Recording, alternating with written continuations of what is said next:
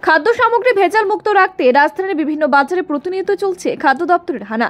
বুধবার রাজধানীর মহারাজগঞ্জ বাজারে এমনই এক অভিযান চালালো সদর মহকুমা প্রশাসনের আধিকারিকরা। খাদ্য দপ্তর এবং লিগেল ম্যাট্রোলজি দপ্তরের যৌথ উদ্যোগে হয় এদিনের দিনের এই অভিযানটি। বিগত কিছুদিন ধরে রাজধানীর বাজারগুলোতে লোকাল চালের দাম অত্যাধিক হারে বৃদ্ধি পেয়েছে। আচমকা চালের এই মূল্য বৃদ্ধির কারণ ক্ষতি দেখতে এদিন এই অভিযান চালানো হয়েছে বলে জানা গেছে। অভিযান চলাকালীন মহারাজগঞ্জ বাজারের দ্বিজেন্দ্র লাল সাহা নামে ব্যবসায়ীর দোকানে অনিয়মের খোঁজ পাওয়ার সামগ্রিকভাবে বন্ধ করে দেওয়া হয়েছে ওই ব্যবসায়ীর দোকানটি। এছাড়াও বাজারের অপর এক ব্যবসায়ী শঙ্করলাল সাহার দোকানে লোকাল চাল ক্রয় করার প্রয়োজনীয় কাগজপত্র না থাকায় সাময়িকভাবে চাল বিক্রি বন্ধ রাখার আদেশ দেওয়া হয় তাকে। পরবর্তীতে প্রয়োজনীয় কাগজপত্র যদি উনি দেখাতে পারেন, তাহলে সেই কাগজপত্র সততা যাচাই করে ব্যবসায়ীকে পুনরায় চাল বিক্রির ছাড়পত্র দেওয়া হবে বলে জানান খাদ্য দপ্তরের আধিকারিক। তো আজকে মূলত অভিযান হচ্ছে যে যে লোকাল চাল নিয়ে আমাদের অভিযান কারণ আমরা লক্ষ্য করছি বাজারের মধ্যে এই পনেরো বিশ দিনের মধ্যে লোকাল চালের রেটটা অনেক বেড়ে গেছে।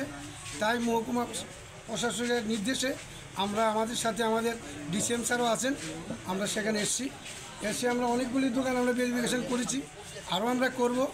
একটি দোকানে আমরা কোনো লাইসেন্স নাই, কাগজপত্র দেখাতে পারিনি। দ্বিজেন্দ্রলাল সাহা, ওনার দোকানটা আমরা ক্লোজ করেছি।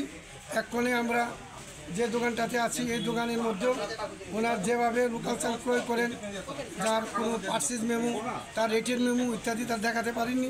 ওনার রেকর্ডে পনেরো কুইন্টাল চাল আছে, সেটা আমরা বিক্রির জন্য আমরা বদ্ধ করে দিয়েছি। ওনাকে নির্দেশ দিয়েছি, উনি যেখান থেকে মালগুলি কিনেছেন, প্রয়োজনীয় কাগজ নিয়ে মহকুমা শাসকের কাছে যেতে, মহকুমা শাসক পরীক্ষা নিরীক্ষা করে দেখবে, যদি ঠিক হয় তিনি বিক্রির নির্দেশ দিয়ে দেবে, আর যদি অসঙ্গতি থাকে, আইন অনুসারে ব্যবস্থা নেবে। লোকাল চালের অসাধু উপায়ে মূল্য বৃদ্ধির বিরুদ্ধে এই অভিযান জারি থাকবে বলে জানান সদর মহকুমা শাসক অফিসের food controller Pradip Kumar Bhowmik.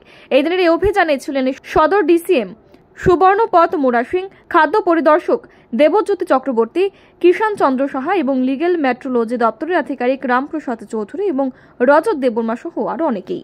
Bureau report R E news.